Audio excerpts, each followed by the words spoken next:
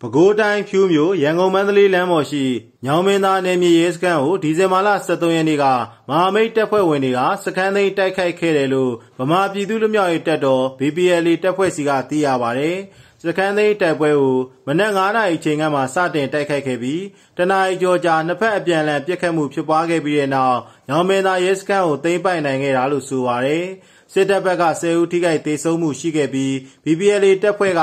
4ဦးထိခိုက်ဒဏ်ရာရခဲ့က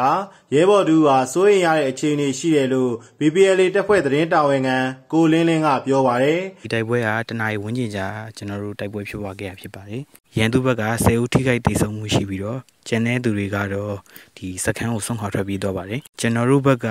ဒီ BPLA ကရဲဘော်၄ဦးထိခိုက်ဒဏ်ရာရရှိတာပြီးတော့ဒီတအူးကတော့စိုးရင်ရတဲ့အခြေအနေမှာရှိပါတယ်ဗျ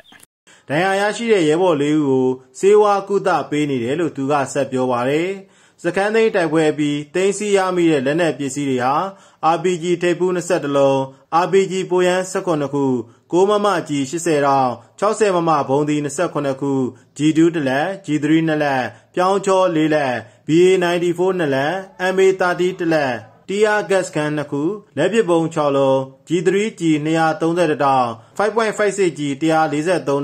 လက်ထိတ်4ခုလက်တော့1လုံးရဲရီယိုဘုံ46လုံးအတန်ဘုံ1လုံးကြီးက2စုံအုတ်ထုံ5လုံး G3G ပေါက်6ခုနဲ့6လုံးကြီး200တောင်တို့တင်စီရရှိခဲ့တယ်လို့ဆိုပါတယ် အဲ့ဒီစခန်းသိမ်းတိုက်ပွဲကိုကရင်မျိုးသားလွတ်မြောက်ရေးတပ်မတော် KNL ပြည်သူ့ကာကွယ်ရေးတပ်မတော် PDF နဲ့ဗမာပြည်သူ့လွတ်မြောက်ရေးတပ်တော် BPLA တို့ပါဝင်တဲ့မဟာမိတ်ပူးပေါင်းတပ်ဖွဲ့တွေကတိုက်ခိုက်ခဲ့တယ်လို့သိရပါတယ်။